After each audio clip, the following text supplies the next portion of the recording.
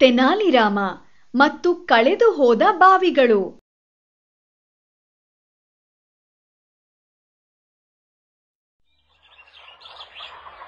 ವಿಜಯನಗರದಲ್ಲಿ ಒಂದು ವರ್ಷ ಮಳೆಗಾಲದಲ್ಲಿ ಹೆಚ್ಚು ಮಳೆ ಬರಲಿಲ್ಲ. ರಾಜನು ಬೇಸಿಗೆ ಕಾಲದಲ್ಲಿ ಜನರು ಕಷ್ಟಪಡಬಾರದೆಂದು ರಾಜ್ಯಾದ್ಯಂತ ಬಾವಿಗಳನ್ನು ತೋಡಿಸಲು ಒಬ್ಬ ಮಂತ್ರಿಗೆ ಆಜ್ಞಾಪಿಸಿದನು.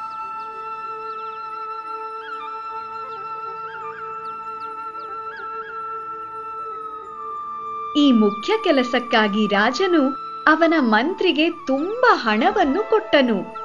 ಕೆಲವು ವಾರಗಳ ನಂತರ ಮಂತ್ರಿಯು ರಾಜನಿಗೆ, ರಾಜರೇ, ನೀವು ಹೇಳಿದಂತೆ ರಾಜ್ಯಾದ್ಯಂತ ಬಾವಿಗಳನ್ನು ತೋಡಲಾಗಿದೆ. ರಾಜನು ತನ್ನ ಮಂತ್ರಿಯ ಜೊತೆ ಪಟ್ಟಣದ ಸುತ್ತ ಹೋಗಿ ಬಾವಿಗಳನ್ನು ಪರಿಶೀಲಿಸಿದನು. ರಾಜನಿಗೆ ಚೆನ್ನಾಗಿ ಕಟ್ಟಿದ್ದ ಬಾವಿಗಳನ್ನು ಮತ್ತು ಅದರ ತುಂಬ ನೀರು ಇದ್ದುದನ್ನು ಕಂಡು ಸಂತೋಷವಾಯಿತು.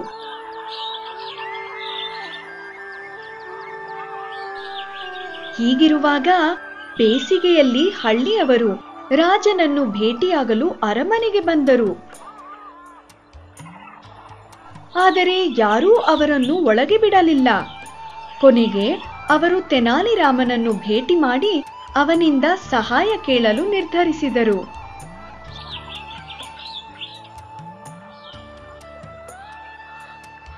ಹಳ್ಳಿಯವರು ತಮ್ಮ ಹಳ್ಳಿಯಲ್ಲಿ ನೀರಿನ ಕೊರತೆ ಇರುವುದಾಗಿ ಅವನಿಗೆ ಹೇಳಿದರು. ಅವರು, ನಾವು ಅನೇಕ ಬಾರಿ ರಾಜನ ಮಂತ್ರಿಗೆ ದೂರು ನೀಡಿದ್ದೇವೆ, ಆದರೆ ಏನೂ ಪ್ರಯೋಜನವಾಗಲಿಲ್ಲ. ನಾವು ರಾಜನನ್ನು ಭೇಟಿ ಮಾಡಬೇಕು ಎಂದು ಹೇಳಿದರೂ ಅರಮನೆಯ ಕಾವಲುಗಾರರು ನಮ್ಮನ್ನು ಒಳಗೆ ಬಿಡುತ್ತಿಲ್ಲ.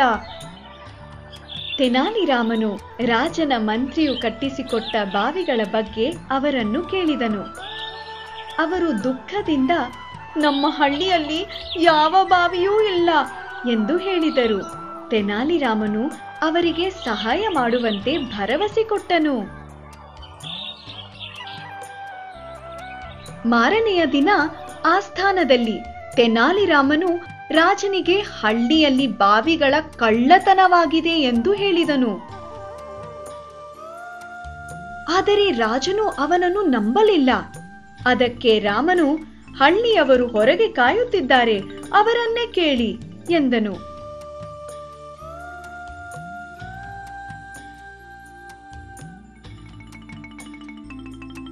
ಹಳ್ಳಿಯವರನ್ನು ರಾಜನ ಮುಂದೆ ಕರೆಸಲಾಯಿತು. ಅವರಲ್ಲಿ ಒಬ್ಬನು ನಮಸ್ಕರಿಸಿ, ರಾಜರೇ, ಮಂತ್ರಿಯವರು ಕಟ್ಟಿಸಿಕೊಟ್ಟ ಬಾವಿಗಳು ಮಾಯವಾಗಿವೆ. ಇದನ್ನು ಹೇಳಲು ನಾವು ಹಳ್ಳಿಯಿಂದ ಬಂದಿದ್ದೇವೆ. ಈಗ ನೀರಿಲ್ಲದ ನಾವು ಕಷ್ಟಪಡುತ್ತಿದ್ದೇವೆ. ದಯವಿಟ್ಟು ನೀವು ಬಂದು ನೋಡಬೇಕು.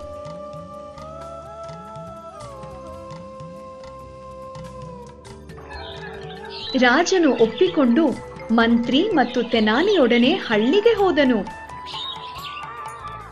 ಅಲ್ಲಿ ಎಲ್ಲಿಯೂ ಬಾವಿಯೇ ಕಾಣಿಸಲಿಲ್ಲ.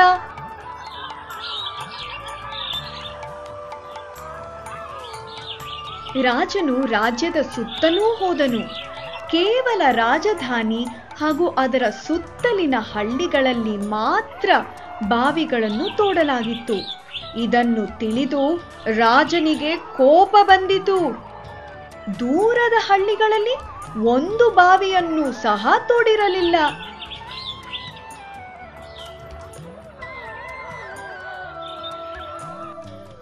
ರಾಜನಿಗೆ ಮಂತ್ರಿಯು ಮೋಸ ಮಾಡಿದ್ದನೆಂದು ತಿಳಿಯಿತು.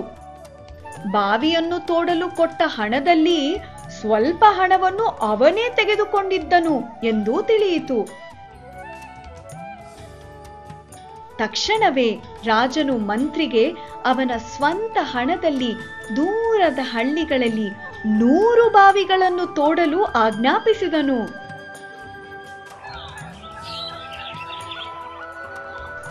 ಬಾವಿಗಳನ್ನು ಸರಿಯಾಗಿ ಕಟ್ಟಿಸಿ ಬೇಗ ಕೆಲಸ ಮುಗಿಸುವಂತೆ ತೆನಾಲಿರಾಮನು ನೋಡಿಕೊಂಡನು. ಹಳ್ಳಿಯವರು ತೆನಾಲಿರಾಮನಿಗೆ ತಮ್ಮ ವಂದನೆಗಳನ್ನು ಸಲ್ಲಿಸಿದರು.